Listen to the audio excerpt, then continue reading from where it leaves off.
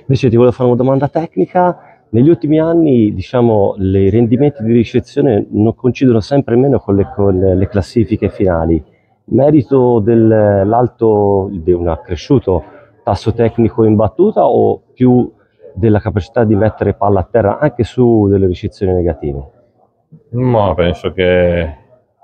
che ultimamente in generale si sia calato, non ci sono più giocatori abili, tantissimi giocatori abili in ricezione, basta, basta fare una domanda, chiedere com, come quali, quali dei 3-4 giocatori, chiedo scusa,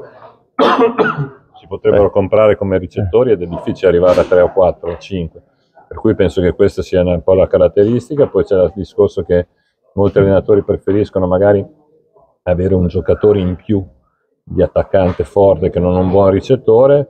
a volte può, questo porta risultati, altre volte no, però penso che questa sia proprio una problematica tattica, tecnica del, del, del minor numero di ricettori che ci, sono, che ci sono proprio anche a livello mondiale, anche ad altissimo livello, unito anche al fatto che anche nella pallavolo femminile ormai la battuta sta ricoprendo un ruolo veramente molto importante.